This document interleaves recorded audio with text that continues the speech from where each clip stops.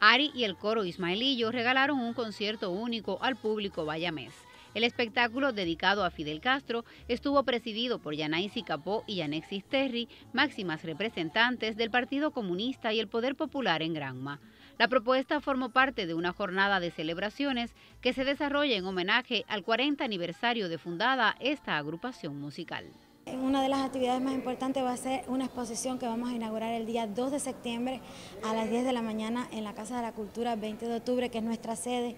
Y allí en el primer salón vamos a exponer reconocimientos, trofeos, el libro cancionero con el que trabajamos. Y el día 30 de septiembre va a ser un gran concierto donde quiero reunir a todos los ex Ismaelillo para que también estén con nosotros los fundadores, que son Reinaldo Pérez e Irene Nubiola, que viven ahora en Matanza, pero van a estar con nosotros. El coro Ismaelillo interpretó aquí piezas del pentagrama cubano alegóricas a Carlos Manuel de Céspedes, padre fundador de la nación, y a Fidel.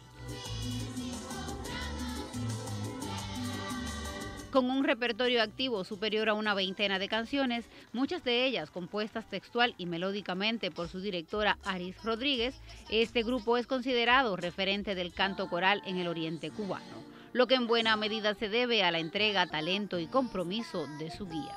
Para mí representa mucho poder contribuir a la formación de las nuevas generaciones, en este caso en la música pero tratamos de, darles también la historia de una manera muy didáctica, que ellos aprendan quién fue Fidel, como hoy que fue un concierto especial y aprovechamos para explicarle aspectos de la historia en la que él participó y cuando estamos en actividades culturales eh, pues aprenden cómo pararse en el escenario. Para mí es un honor poder ayudar a los padres a formar a sus hijos y ha sido mi pasión principal. La vida no me quiso regalar hijos y me siento feliz de tener tantos hijos del coro Ismaelillo que han sido mi familia verdaderamente. Fundado en 1983, el coro Ismaelillo está conformado por una treintena de niños y adolescentes. Ellos, sin duda, prestigian con su hacer a la cultura granmense.